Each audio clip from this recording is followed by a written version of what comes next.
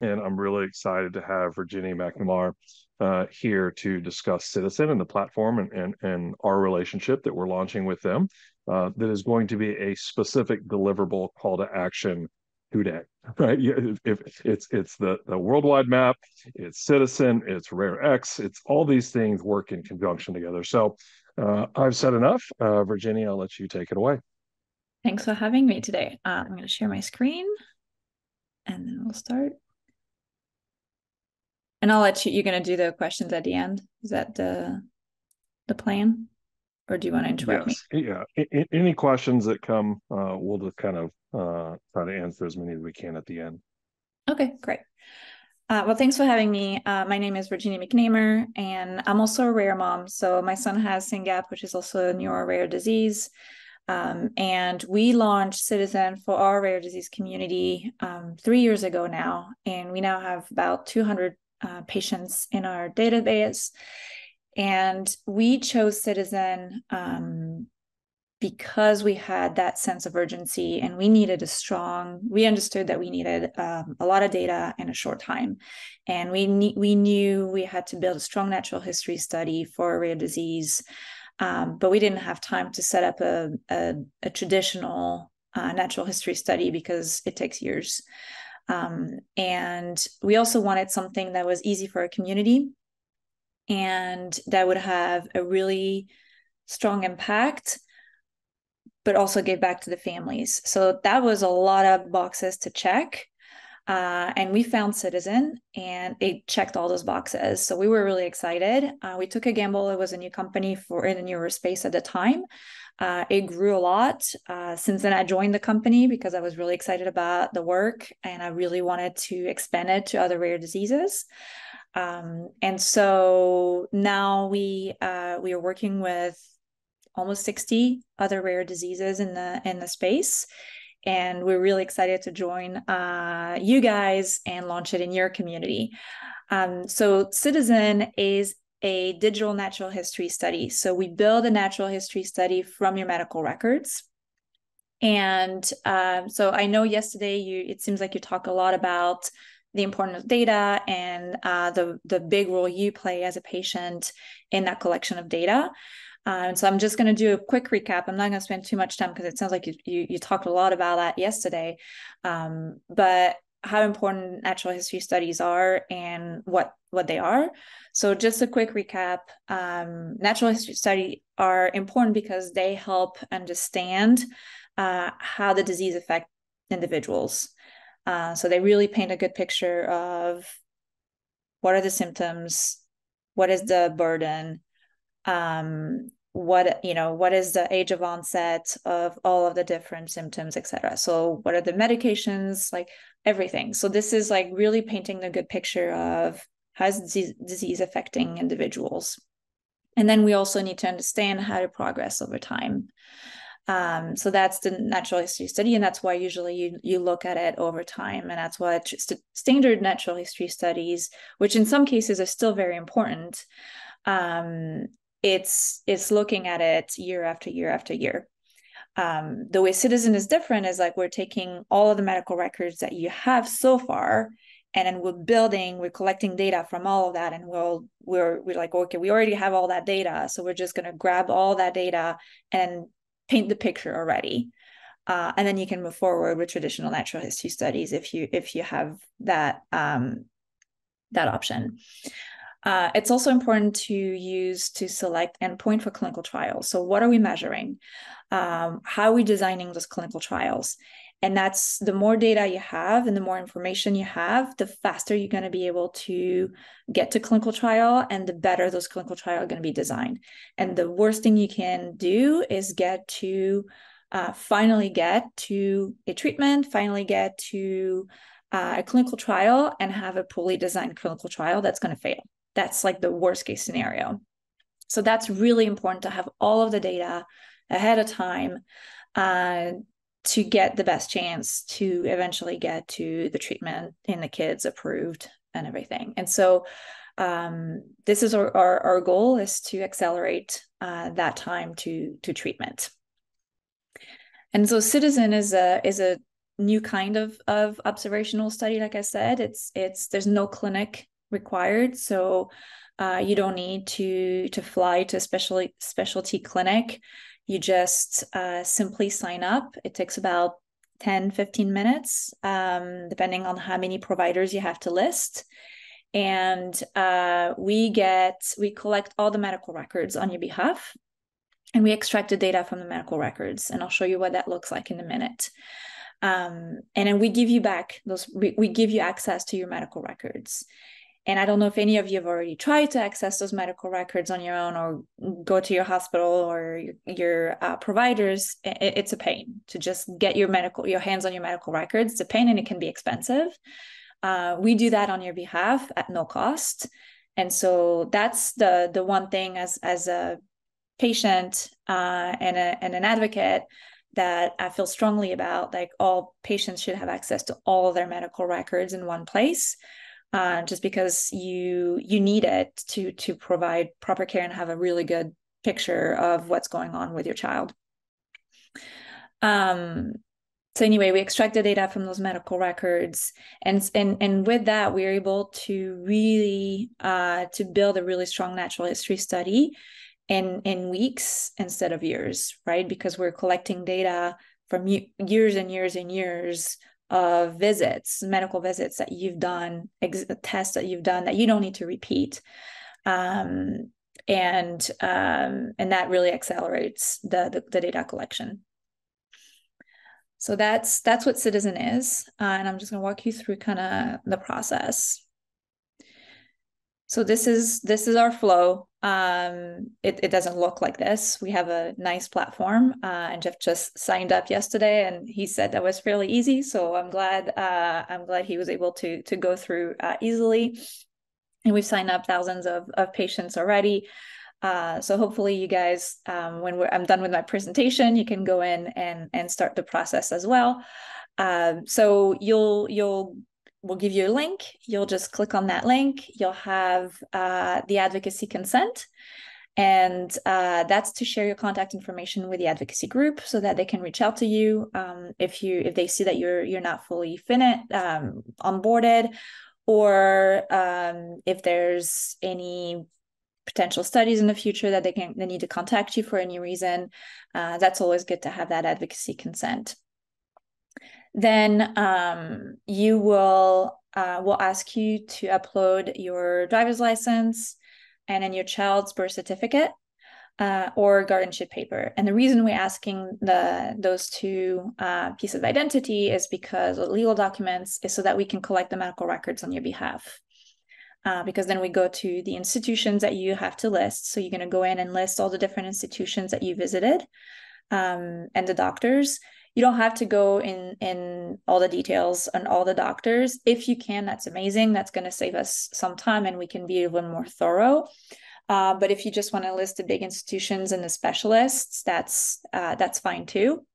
A lot of the records are centralized in the big institutions so we can just put in a uh, records request and ask for everything imaging and records uh, into one institution and they usually send everything um, so once we start getting the records, uh, we'll share them with you. So you own the raw medical records and you'll start seeing them come through the portal.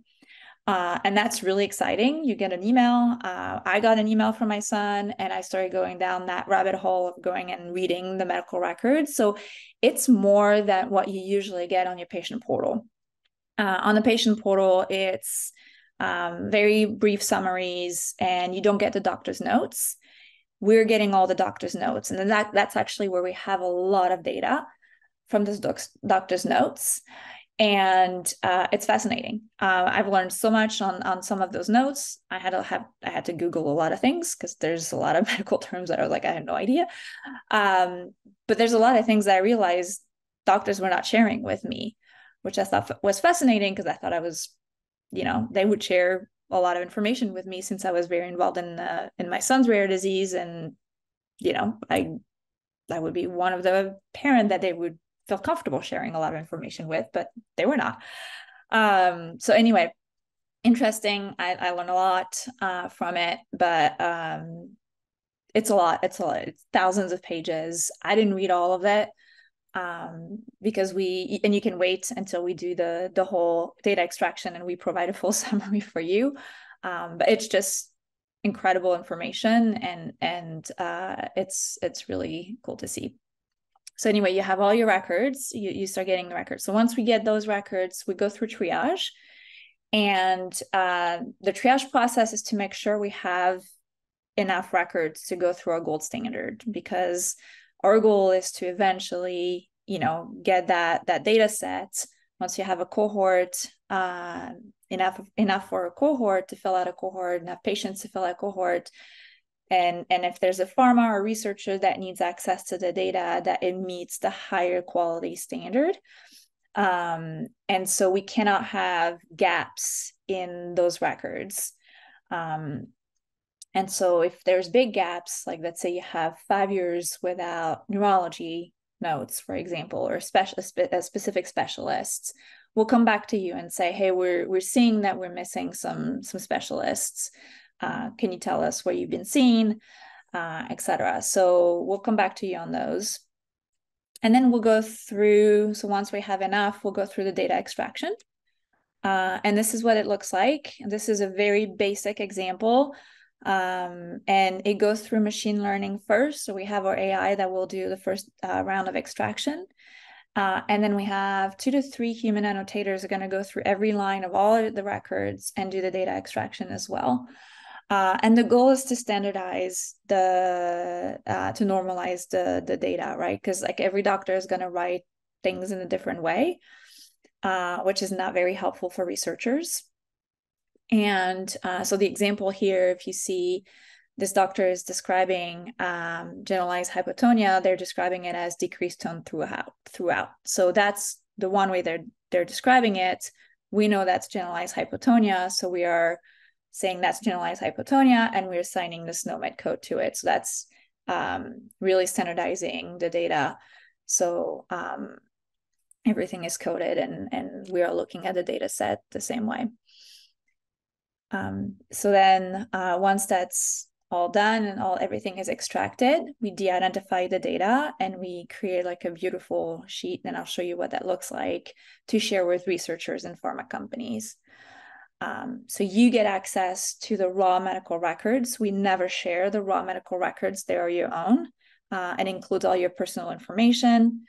Um, but we share with researchers and pharma the de-identified extracted data uh, of the cohort. So if you have 50 patients signed up, um, we'll share the data of 50 people um, with researchers in pharma with de-identified so they can tell who is who.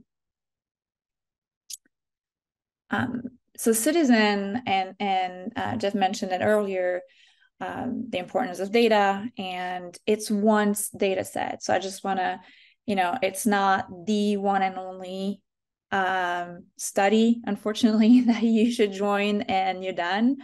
Um, i would say and that's just like i'm not putting my Ciitizen hat i'm going to put my mom's hat um, of all the study that i've joined that was probably the easiest uh, because it's 10 15 minutes of my time and that was it. Like i i kind of don't have to touch it unless like i go see another doctor um, and then I can ask for a new set of records to come through. But I don't have to fill out surveys. I don't have to take my my kid anywhere else to do EEGs and blood work and and all of those. So it's it's of all of the studies that I participate in for for my son's rare disease. That's that was definitely the the the easiest uh, and and had a lot of data out of it, which is really exciting. Um, but it's not the only one that is um, needed, unfortunately. So if you look at all of the data sets, ours is from the medical records. So it's a very important piece. Um, it's but you also need uh, your voice. So this is from your doctors in the clinician's voice um, and that's why you I, I mentioned I, I hear I heard Jeff mention RareX. This is going to be your voice. You're you're filling out those surveys, uh, and those are very important. And then there's biorepository, which is going to be, you know, all of the blood sample and all this. That's also super important. Um, but we work with all the other partners to kind of figure out how to link the data so that when researchers need access to the data, it's not all everywhere. You know, it's like, how do we make sure without identifying patients, they understand that patient A is the same here, you know, the data set is here and here and here. So that's our goal with with um, as partners in in the space is to to to work together uh, because we understand that all of our data sets are complementing each other and they're all very important to help uh, the rare disease community work together and and and have the and advance research and and get closer to treatment. Um, so anyway, so that's Ciitizen's one one part, easy one. Um, so um, just 10, 15 minutes. Uh, and we'll do the link. We'll send you the link. Now, um, I, I don't think I mentioned it. It is US only right now because we're using the HIPAA right of access to collect the medical records. Uh, we're working on pilots to expand to uh, Canada and Australia, but it's not open yet. Uh, so right now, unfortunately, Ciitizen is only open to US patients. Um, so what are the benefits? I think I've mentioned several of those already, but uh, to recap, it's like a big big impact on research with minimum efforts on the on the family side.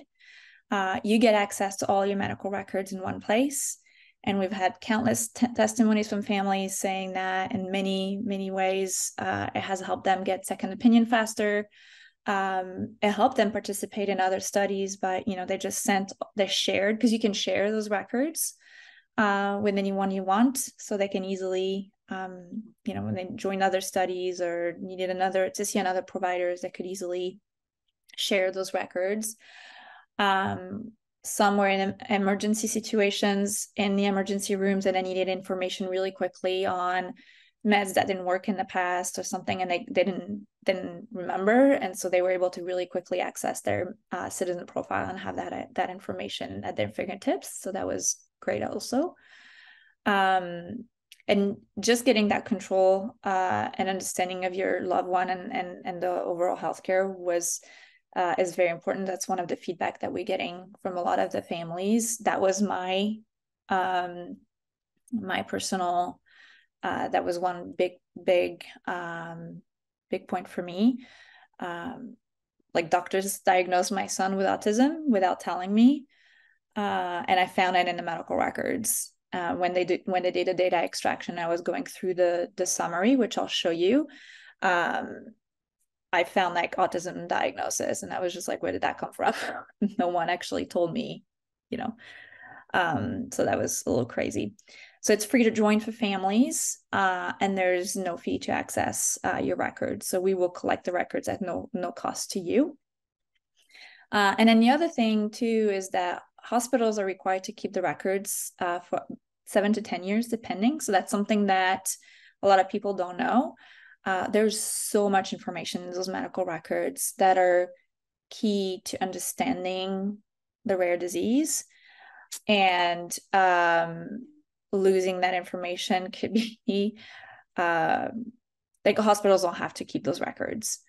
And um, so getting those records in sooner is is is critical so that we we're not at risk of of, of losing that that information now if your child is older than 10 uh, we are usually able to get um, uh, records older than 10 years old but at after 10 uh, if they're older than 10 years old it's it's not a guarantee that we can get everything um, so that's just another thing to keep in mind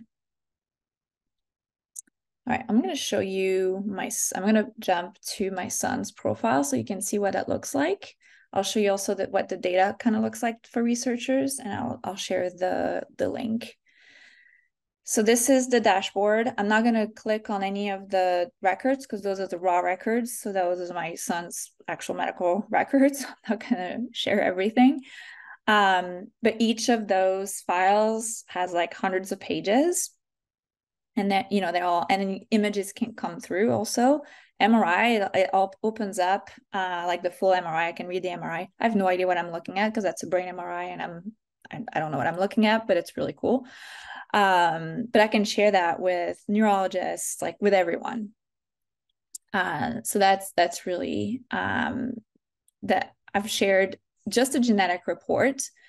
Um, I've shared it so many times. I've downloaded it all the time. Everyone, I, I cannot. I, I, know it's bad. I should know his mutation at top of my head all the time, uh, being in a space, especially. But I, I, I always forget. So every time someone asks me, I, I always have to pull. I, I logged on on Ciitizen and pull up his um, his genetic report. I actually saved it on my phone now as a contact, so it's easier. But that's another thing. Um, and then disease summary. So that's once the data is extracted, we provide a disease summary, and it's everything we found, and then we we organize it in in chronological order. So that's helpful too. Um, if you fill out surveys, I know I gut check myself because uh, I can't rely on my memory because there's just so much happening all the time. And so I just go back and uh, and then just double check, make sure that I'm right uh, when I'm filling out my the survey, especially on meds and things like this. It's just always helpful.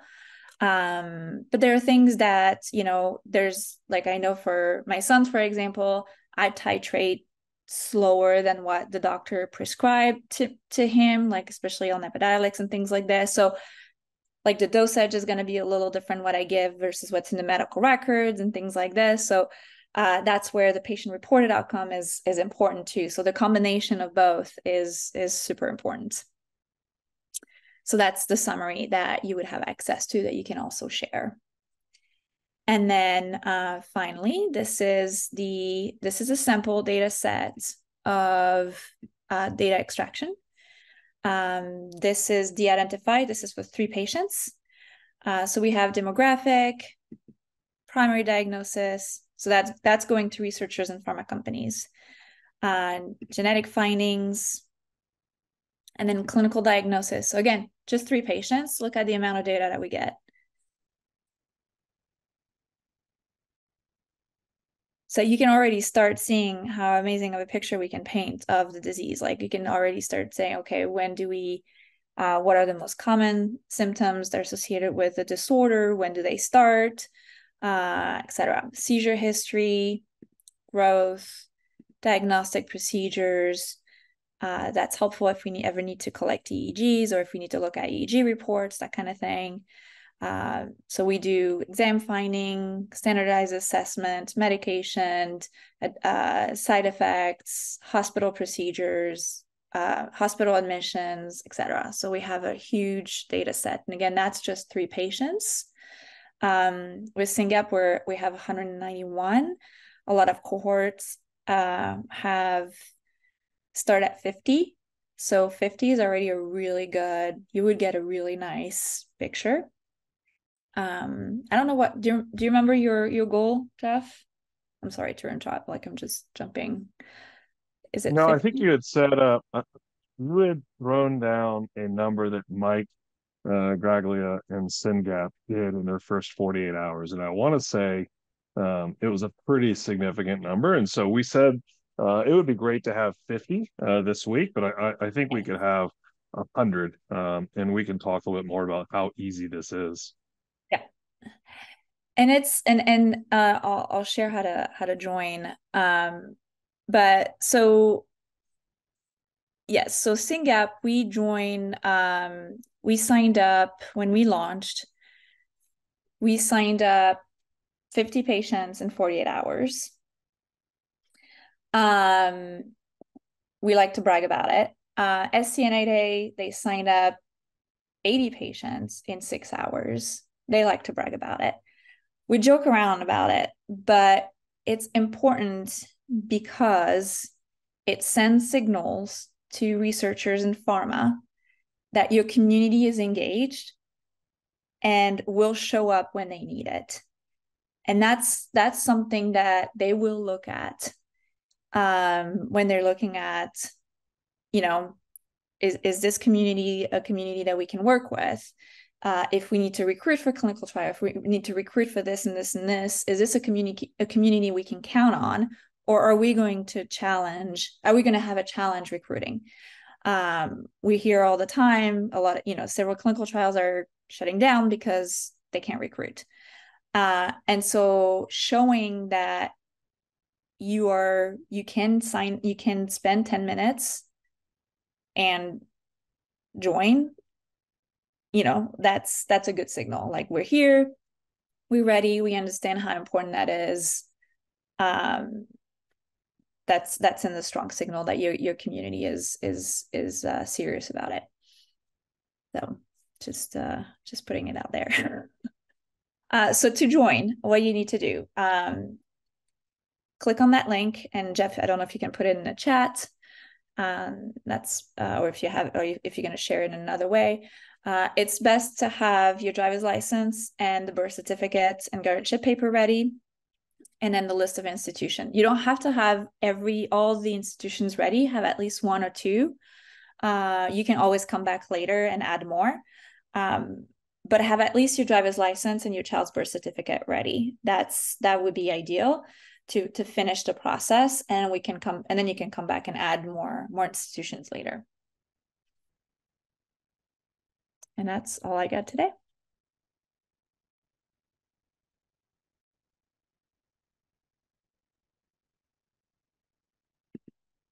All right, I'm adding the link. Uh, when I originally added it into the chat, it cut off the last little bit.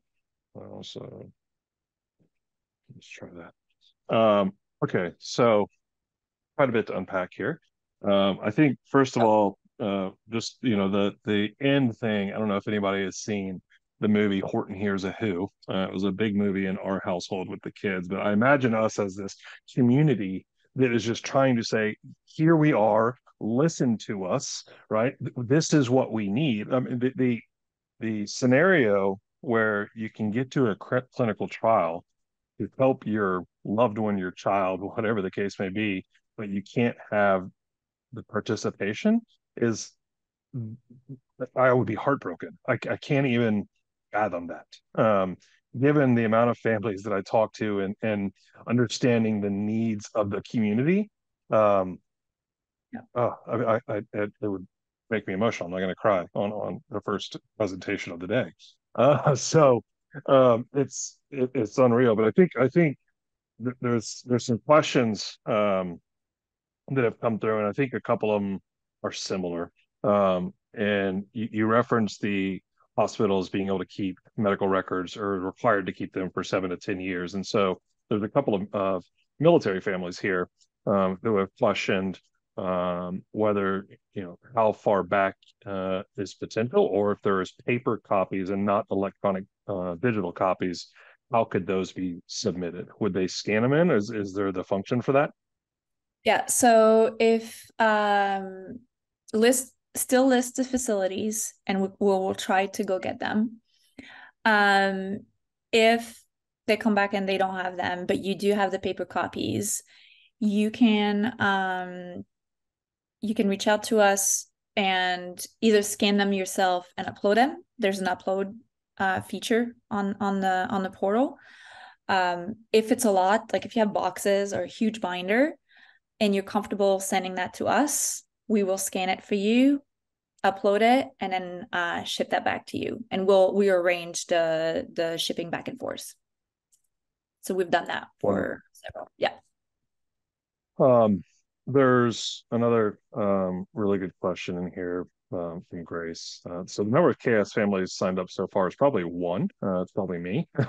we just uh, we're we're using today as kind of the launch point, and have kept it under wraps. And um, I'm going to get our social media team, uh, which uh, me, uh, to, to, post about it later, just to make it accessible for any members um, of our community that haven't been able to attend this morning for various reasons. but you know, as we discussed, you know 50 is for me like the the floor. Like that that is where we have to be. Um, where we need to be is you know you reference um, you know patients in the us uh, canada and australia are uh, going to be following closely thereafter or at some point. Uh, i will say that in our worldwide map we have almost 250 patients uh, and, and, families who have registered in our worldwide map.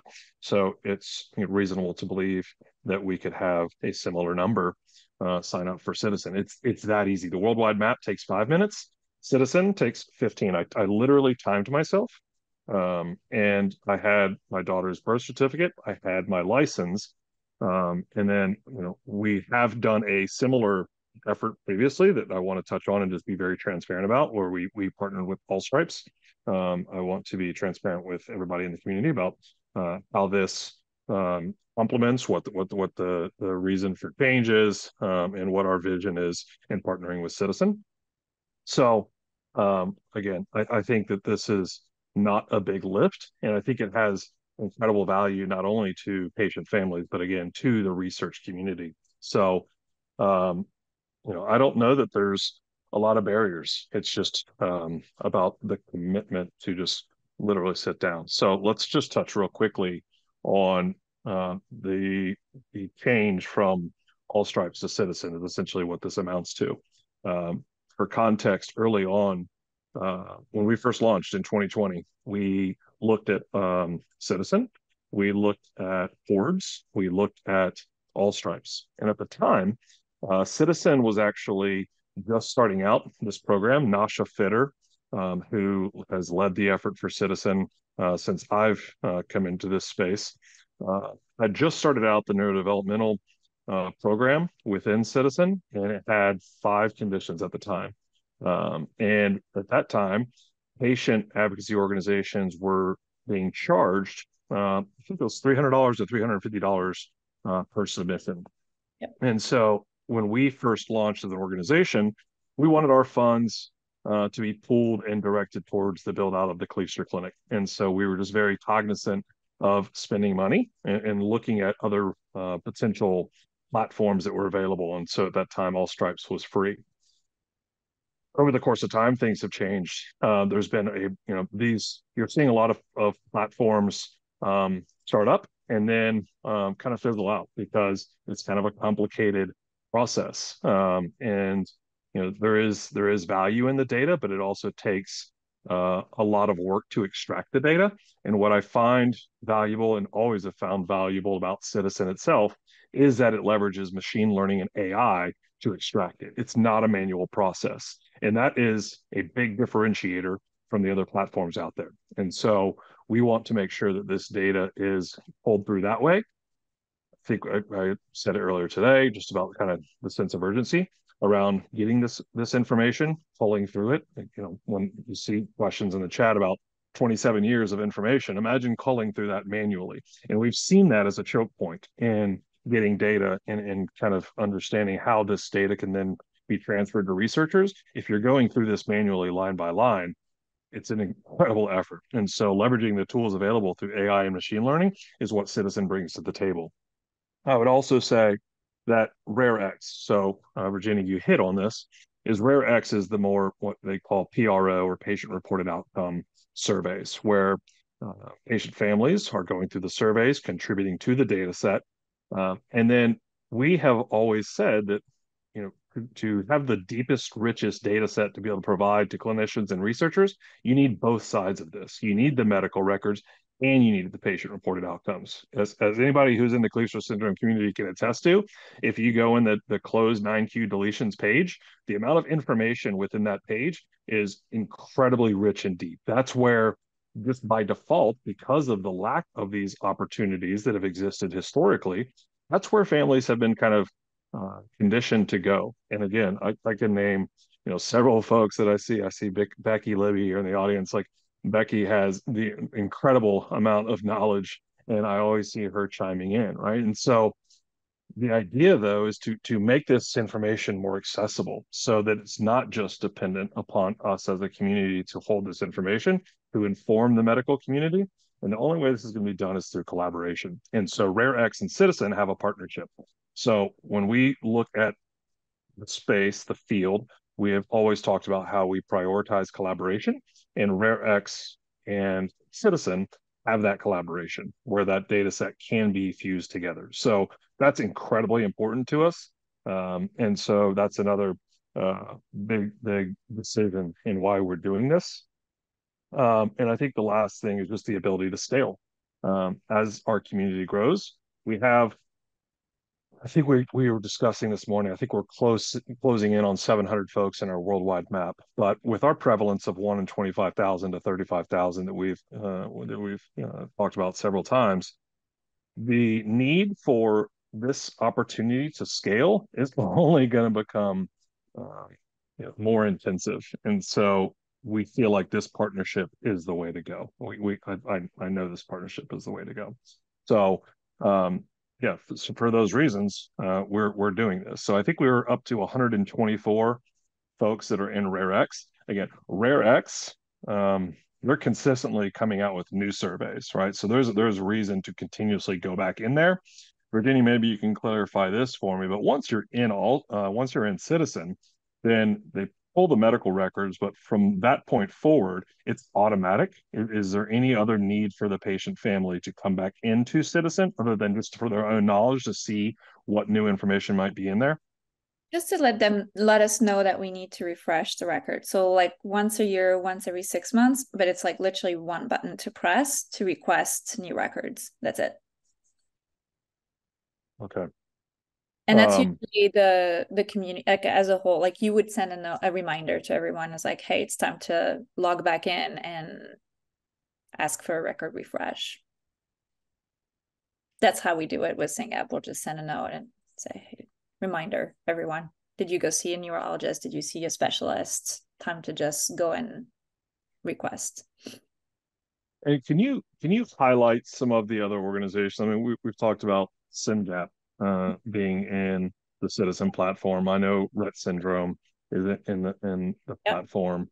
Um, FOXP1 syndrome. Are there are there other ones that I'm that I'm leaving out? Let me see. Uh, I'm sharing. Uh, let me see. I'm trying to figure out my share screen. Where's my share? When uh, we have 60 organizations. So we have uh, SLC 6A1. Um, we have um, uh, STXBP1. We have um we have so many. yeah, well, I mean, I, I, think even even those two, um, I mean, KCNT1, uh, S, STXBP1. Yeah. yeah, I mean that's um, that's Charlene Son Rigby. So so right. STXBP1, just for everybody's knowledge, Charlene Rigby um, was the uh, CEO of uh, RareX uh, Global Genes has since partnered with RareX. Uh, I believe everyone should be familiar with Global Genes. They're one of the world uh, leading organizations as far as rare rare diseases go. Um, and Charlene is now the CEO of Global Genes. And so it's you know there's benefits from affiliation. I think Eric alluded to this yesterday. Is is as we're creating this kind of uh, I, I keep using this word because it's so relevant. This this ecosystem and this this rare disease community uh, on a larger scale, it helps inform and benefit each other. It's it's the rising tide lifts all boats um, mentality, and so when these kind of prominent organizations that are making significant headway in in their efforts uh, are partnering, I think that's a really good sign. I also think it's a really good sign when you know Virginie reference she's a rare disease mom, right? Um, Nasha, who's with Ciitizen, is a rare disease mom.